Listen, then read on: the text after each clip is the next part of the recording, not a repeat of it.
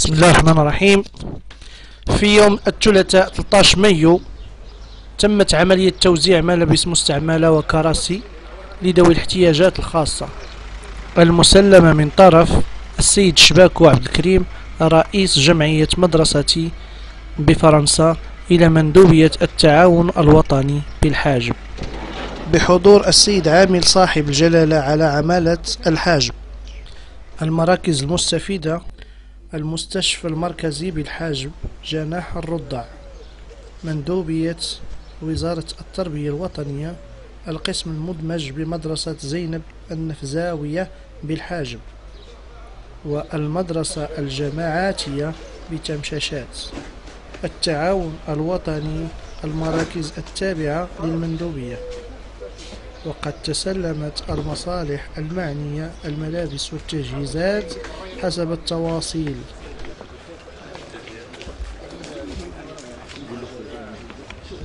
هذه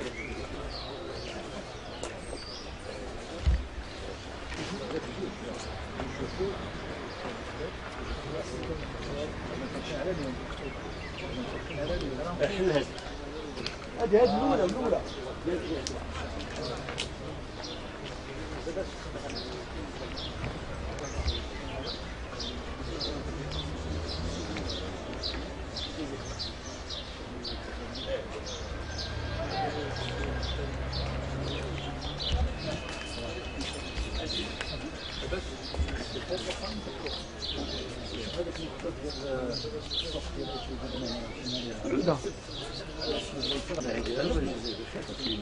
جاب هاد الحويجات هادو الله يجزيه هانتوما ديروا واحد اللجنه هو راه عنده يمكن الناس اللي فاهم كلشي كلشي ديال ما- راه شنو الاقتراحات اللي عندك ديال الاقتراحات ديالي عندي ديال ديال التعليم ديال المدرسة شنو هادي ديال وقت الحويجات هادو ديال المدارس كيكون فيهم الداخلية.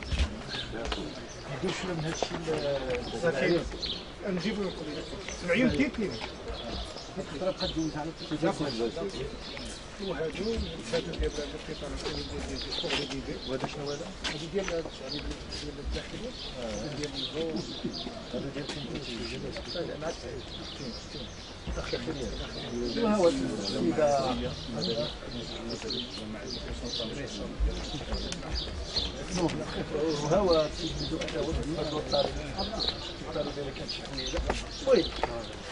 داكشي اللي قلت الا بقات لكم شي خمسه ولا عطوه هو يعرف غادي يحطوا التعليم كذا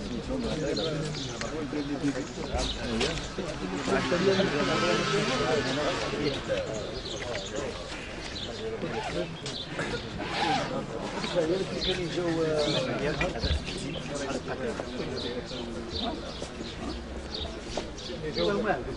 جاو داك النهار العيال العيال اللي كانوا واقفين هذيك السيدات واحد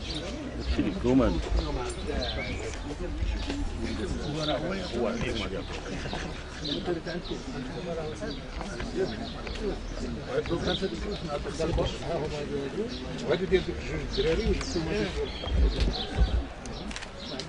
تمشي تزاوج التعليم. وأنا مع التعليم كاين كاين مناطق هنا اللي هي نفس الانسان لها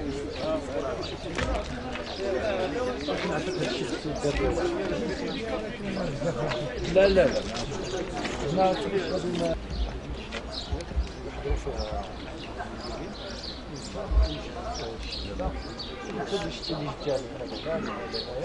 الله يجازيك بخير الاساسيال عليك انت انت هذوك بعدا غير معروفين ما عرفتش وهذا الشيء ما خصوش كل حاجة ضرب العذاب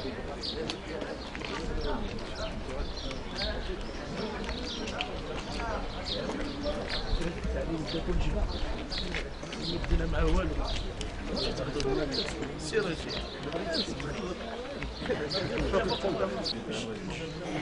أوكي واحد كلمة شكر نيابة عن الجمعيات مدرستي للأعمال الاجتماعية. تام بوجود مولانا الإمام سيداتي سادتي أيها الحضور الكريم.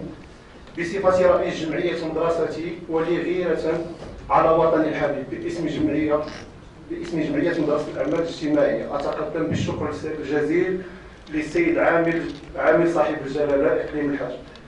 كما أغتنم فرصة ميلاد صاحب السمو الملكي ولي العهد مولاي الحسن أيده الله ونصره كي ألقي كلمة وهذه كلمة هذه التي تتجلى في المجهودات الجبارة التي تقوم بها الجالية المغربية الغيور عن وطنها وكل مهاجر سفير عن الوطن وفي جميع المجالات الاجتماعية والاقتصادية لتشريف وجه المغرب في جميع أنحاء العالم. كما أننا نطمح جميع الأعمال الجمعوية وتنشيطها والسير بها إلى الأمام. وفي الأخير إنني جد مسرور بهذا اللقاء وأجدد شك- شكري وتقديري لجميع السادة والسادات والحضور الكرام. والسلام عليكم ورحمة الله تعالى وبركاته.